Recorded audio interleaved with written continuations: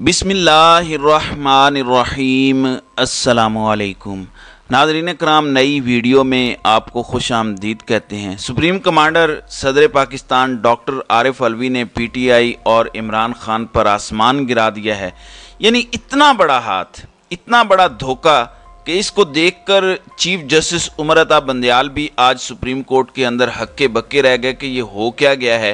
ये पार्टी छोड़ने से भी बड़ा फैसला है, एक बड़ा धचका है, जो आज सुप्रीम कमांडर की जानब से दिया गया। अब नवाज़ शरीफ और जहांगीर तरीन की नाअहलियाँ ख़त्म हो सकती हैं या ख़त्म होने जा रही हैं। इस पर भी इस वीडियो के अंदर बात करेंगे। दीगर भी बहुत सारी ख़बरें हैं ख़ास तौर पर निगरान बगल बच्चों को लेकर एक ऑर्डर जो है वो आया है और ताकतवरों को भी लाहौर हाई कोर्ट से एक बड़ा हुक्म जारी हुआ है। जस्टिस अनवारुल हक पुन्नो, इन्होंने बड़े अहम रिमार्क्स दिए हैं। जबकि नून लीग के जो ख्वाब थे कि पीटीआई को क्रश करेंगे तो हमें बड़ा फ़ायदा होगा। वो गेम नून लीग को उल्टी पड़ी है, इस पर भी बात करेंगे। नाजरीन कराम, कुछ दिन पहले पार्लियामेंट ने एक भोंडा कानून पास किया था, supreme court review and judgment order. ये एक बिल पास किया था और उसके बाद वो सदर पाकिस्तान को मंजूरी के लिए भेजा गया। आज सदर पाकिस्तान ने इस, उस वक़्त इस कानून की मंजूरी दी। मंजूरी देकर इसे कानून बनाया। जब सुप्रीम कोर्ट के अंदर इलेक्शन के हवाले से पंजाब और केपी के इलेक्शन के हवाले से जो हुक्म था सुप्रीम कोर्ट का, इस पर नज़र षानी दरख्वास्त की थी इलेक्शन कमीशन ने। तीन दिन पहले इसको चीफ जस्टिस उमरता बंदयाल ने सुना था और कहा था कि नज़र षानी इस पर हो ही नहीं सकती। यानी कोई आइन या कोई कानून नहीं है कि इस पर नज़र षानी हो या इस तरह का फैसला तब्दील किया जाए। आज उसकी चौथी समात थी और आज कोई फैसला आना था, यानी ये फैसला आ सकता था कि हम नज़र षानी दरख्वास्त को मुस्तरद करते हैं, रद्दी की टोकरी में फेंकते हैं और इलेक्शन के लिए आगे बढ़ते हैं। अभी समाज जारी थी कि अचानक अटारनी जनरल ने चीफ जस्टिस को रोका और कहा कि, चीफ जस्टिस साहब, मैं आपसे कुछ बात करना चाहता हूँ। उन्होंने कहा कि, बात करें। उन्होंने कहा कि, रिव्यू जजमेंट ऑर्डर अब कानून बन चुका है। Supreme commander doctor Arif Alvi ने इस पर दस्खत कर दिए हैं। इस पर चीफ जस्टिस हक्के बक्के रह गए। अब इसका मतलब क्या है? इसका मतलब यह है कि कोई भी मुकदमा जिस पर फैसला आ चुका है, जिसकी अपीलें भी मुस्तरद हो चुकी हैं, उस पर दोबारा कोई ऑप्शन नहीं है, आप उसको चैलेंज नहीं कर सकते। आप उस पर नज़र षानी दरखास्त दायर नहीं कर सकते। अब इस कानून के बनने के बाद साठ दिनों के अंदर अंदर आप उस पर नज़र षानी दरखास्त दायर कर सकेंगे। और गुजश्ता मुकदमा जिन पर नज़र षानी नहीं हो सकी थी अब सबसे बड़े जो इसके बेनिफिशरी होंगे, वो होंगे नवाज़ शरीफ और फिर जहांगीर तरीन। ये दो ऐसे माफियाज हैं जिनके पास कोई अपील का हक नहीं था। दोनों ताहयात ना अहल हैं। अब इस कानून को बना के एक मकसद लेना है और वो ये है कि नवाज़ शरीफ को अहल किया जाए। और नवाज़ शरीफ अहल होंगे तो ऑटोमेटिकली इसका फ़ायदा उठाते हुए जहांगीर तरीन भी अहल हो जाएँगे। और वही स्क्रिप्ट के नवाज़ शरीफ की वापसी होगी तो फिर नून लीग का कुछ बन जाएगा ना अहली ख़त्म हो जाएगी सारे गुनाह धुल जाएँगे और जहांगीर तरीन भी अहल हो जाएँगे। आजकल वो भी आ, लोगों के साथ रबते में हैं पीटीआई के ज़्यादा लोग उन्हीं की तरफ़ जा रहे हैं। इसीलिए मैंने कहा कि नून लीग की उम्मीदों पर पानी फिर चुका है। नून लीग को यह था कि पीटीआई में तोड़ फोड़ होगी बड़े पैमाने पर पार्टी के लोग छोड़ जाएँगे जो कि छोड़ भी रहे हैं। वो पार्टी छोड़कर हमारे पास आएँगे और हमारे पास कुछ अच्छे कैंडिडेट्स आ जाएँगे। हमारा कुछ वोट बैंक बनेगा, हम हुकूमत बना लेंगे। लेकिन इसका फ़ायदा उठा रही है काफ लीग। इसका फ़ायदा उठा रहा है जहांगीर तरीन। तो बड़े रहनुमा जो हैं, वो जहांगीर तरीन से रबते में हैं। लिहाजा नून लीग को यहाँ भी मुँह की खानी पड़ी है, नून लीग के हिस्से में कुछ नहीं आया। दूसरा ये कि जो मौजूदा केस चल रहा है इलेक्शन के हवाले से, ये भी अब लीगल हो गया है। अब इस पर भी नज़र षानी दरख्वास्त दायर हो सकती है। मैं इलेक्शंस की बात कर रहा हूँ। तो मैं समझता हूँ कि सुप्रीम कमांडर ने पार्टी छोड़े बगैर, कुछ लोग तो पार्टी छोड़कर जख्म दे रहे हैं ना खान को।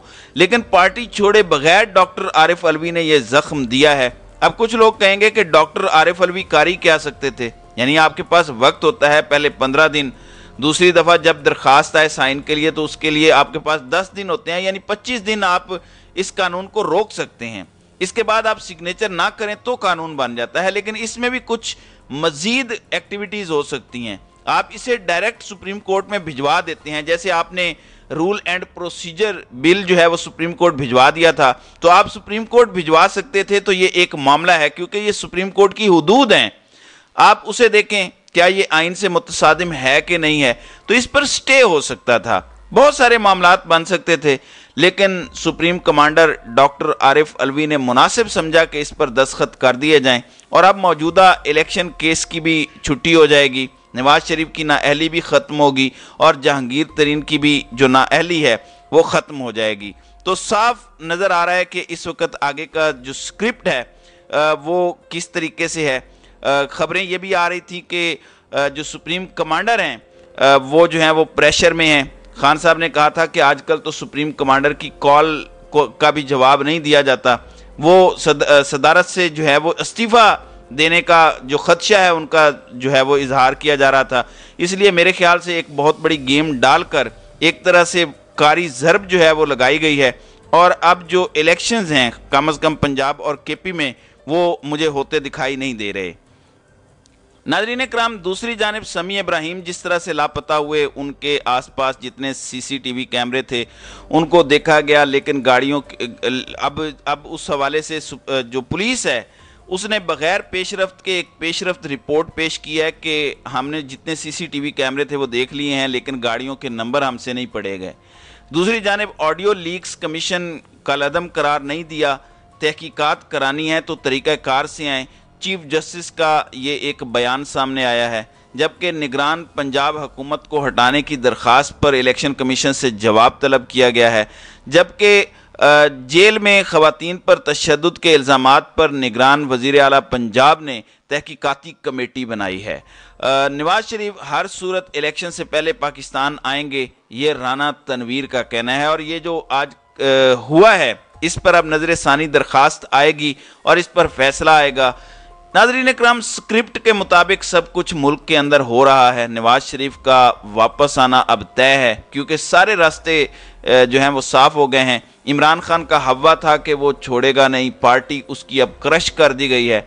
ये लोग कभी भी तारीख से सबक नहीं सीखते। मैं रात को एक ब्रिगेडियर, जो रिटायर्ड हैं, उनकी बातें सुन रहा था। उन्होंने कहा कि उन्नीस सौ इकहत्तर में ये हुआ था कि मुजीबुर रहमान की जो अवामी पार्टी थी उसके वो लोग जो इलेक्शंस लड़ते थे, जो जो उनके कैंडिडेट्स होते थे, जिन्होंने जिन्होंने, जिन्हें उसने टिकट दिया था, उनके पास एक लिफाफा जाता था।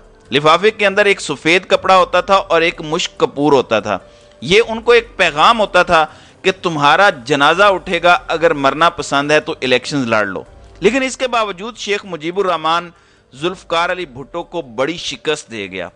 भुट्टो बड़ा लीडर होगा लेकिन वो पॉपुलैरिटी के लिहाज से शेख मुजीबुर रहमान के मुकाबले में बुरी तरह से शिकस्त खा गया। शेख मुजीबुर रहमान एक बहुत बड़ा लीडर था।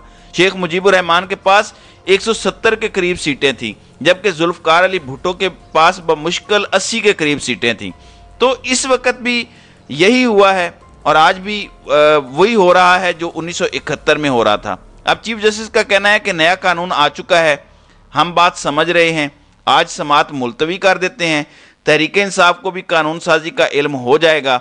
अब पंजाब इंतबात के फैसले के खिलाफ इलेक्शन कमीशन की नज़र षानी दरख्वास्त पर समात जुमेरात तक मुलतवी कर दी गई है। तो ये इस वक्त हमारे मुल्क की सूरत हाल है। जिस तरह तेज़ी से कवानीन में तब्दीलियाँ करके नून लीग को हर तरह से फैसिलिटेट किया जा रहा है, वो आप सबके सामने है। आप अगर मेरी राय पूछें तो माजी करीब में कम अज़ कम मुझे इलेक्शन होते नज़र नहीं आ रहे हाँ अगर इमरान खान अवामी कुत का मुजाहरा करके इनको बैक फुट पर लाने की दोबारा कोशिश करें और ये पीटीआई के अंदर जो टूट फूट का अमल है, ये रुक जाए तो शायद ऐसा मुमकिन हो जाए। लेकिन मौजूदा सूरत हाल में बज़ाहिर इलेक्शन होना नामुमकिन है। तो नाजरीन कराम, आपकी इस वीडियो के हवाले से क्या राय है? आप अपनी राय का इजहार कमेंट सेक्शन में ज़रूर कीजिएगा।